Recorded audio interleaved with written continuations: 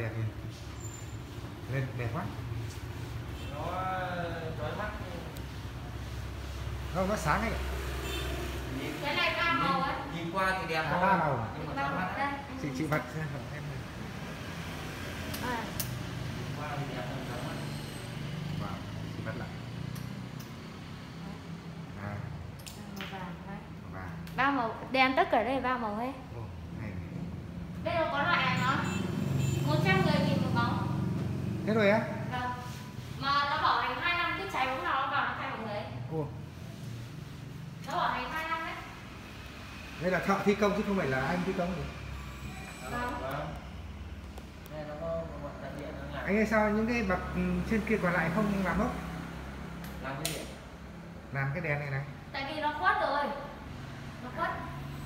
Thế là mục đích của mình là muốn chiếu ra, ra ngoài này thì ý là ví dụ nó không bật điện này thích bật điện này nó nói được chung là tí thiếu thằng điện nước nó làm thiếu của mình em nghĩ là cứ làm cả cho nó đẹp hơn đúng không? Vâng. cái trên kia mấy cái bậc tối om thì nó không được đồng bộ. Anh ở chỗ nào phải chưa em ở phường Tân Bình. Cái này thì chắc là cũng đơn giản để một cái lỗ ở bờ tường thôi anh nhỉ? Đúng không? đúng lỗ là cho ống vào dòng lên em là các cái ống 90 nhưng mà tường tường tường vôi hay là thạch cao? Tường tường vôi. Tường vôi mà. à. Xong rồi đường dây đi đi đi ngầm vào trong luôn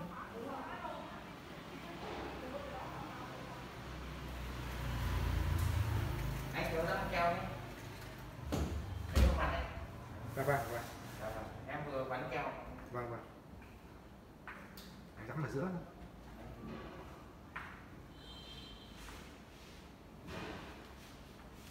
à.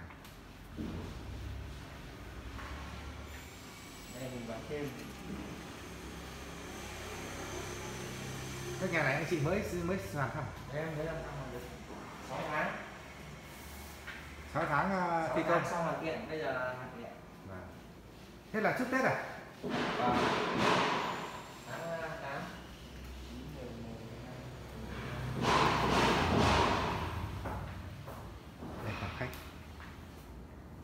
Cái trẻ hai vợ chồng trẻ xây nhà đẹp này. Anh này sinh năm bao nhiêu? 81 ồ thế à? Thế đồng chí này. Chín tư.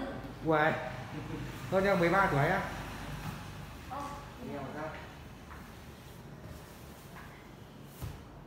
Vợ trẻ nhỉ? Lừa mãi được. Nhưng ông lấy, à, ông lấy vợ ở lâu chưa?